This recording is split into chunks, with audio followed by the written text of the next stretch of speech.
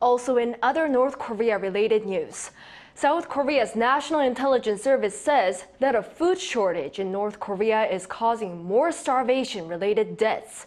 Crime and suicide are both on the up too. Rae-hyun reports. North Korea is fighting a severe food crisis. South Korea's National Intelligence Service on Wednesday said in a press briefing that deaths due to starvation have increased significantly.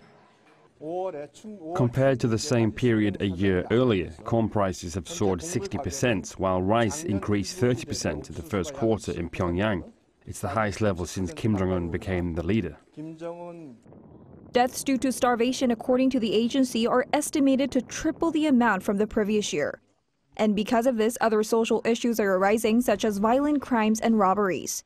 The NIS said the number of violent crimes tripled to 300 compared to a year earlier, while homemade bomb attacks to rob personal properties have increased as well. The number of suicides has gone up to 40% compared to last year. North Korea's leader Kim Jong un said he will consider this as treason against their ideology and urged for prompt measures to prevent further suicides.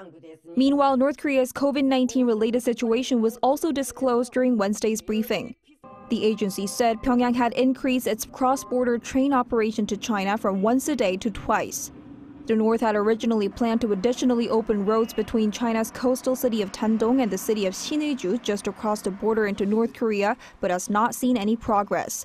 This is because there are lockdowns in some parts of Pyongyang following mass infections of COVID-19. Lee Rae-hyun, Arirang News.